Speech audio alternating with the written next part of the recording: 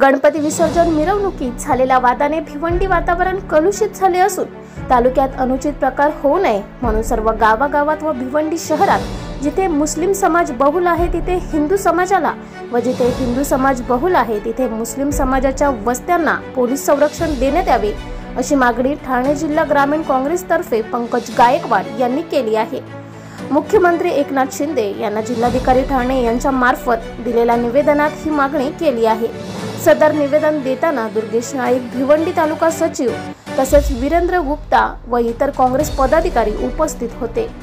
Bureau report लोकहिंद वृत्तवाहिनी जो गणेश विसर्जन में जो गलत तरीके की घटना हमारे भिवंडी शहर में हुई, उससे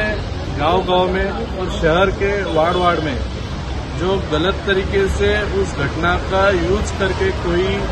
जो समाज में जो घटक है जो समाज को बांटना चाहते हैं ऐसे घटक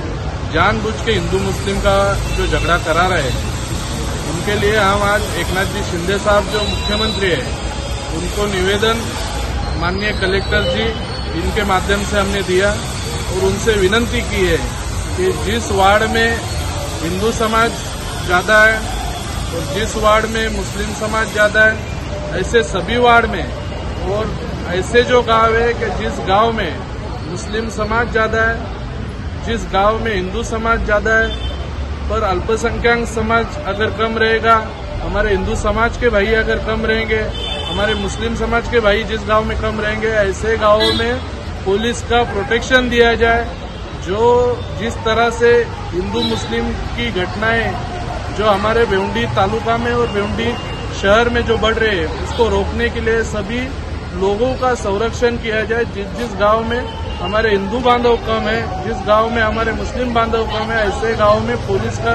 उनको संरक्षण दिया जाए। ऐसे हमने मांगनी आज, माननीय एकनाथ जी शिंदे साहब उनको की है, मुख्यमंत्री जो हमारे उनके लिए। और मेरे, मेरा सभी को कहना है कि जो समाज को बांट रहे ऐसे लोगों से आप दूर रहिए। और अपने को हिंदू, मुस्लिम जो इतने साल से अपन इकट्ठा रह रहे भेवंडी शहर में रहे या भेवंडी ग्रामीण में रहे वैसे ही अपने सबको इकट्ठा रहना है। ऐसे अप, अपन सब लोग शपथ लेंगे और किसी के ऊपर अपन कोई भी समाज का आदमी रहें तो उसके ऊपर अन्याय नहीं करेंगे। इस तरीके से आप अपन जो सुकून की ज़िंदगी पहले जी रहे थे वैसे ही सुकून की ज़िंदगी आगे की आगे भी जीने के लिए अपन तैयार रहे और किसी के ऊपर अन्याय मत किए। यही मेरा शहरवासी है। और ग्रामीण के जितने भी हमारे भाई लोग हैं, उनसे भी मेरा यही कहना है। जय हिंद, जय भीम।